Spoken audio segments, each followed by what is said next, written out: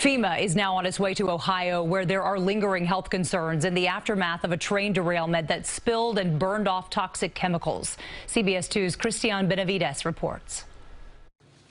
Residents of East Palestine, Ohio picked up bottled water and soda from this local food bank. After the Norfolk Southern train derailment earlier this month, locals are finding apparent signs of toxic chemical spill throughout town, including in this creek. I mean, it just, the whole creek just became that rainbow oil film.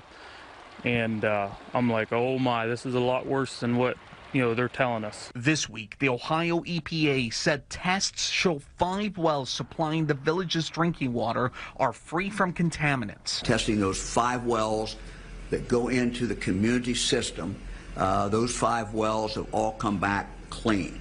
After the derailment, authorities conducted a controlled release of toxic vinyl chloride chemicals from five of the derailed cars to avoid an explosion. That measure sent flames and a plume of black smoke into the air again.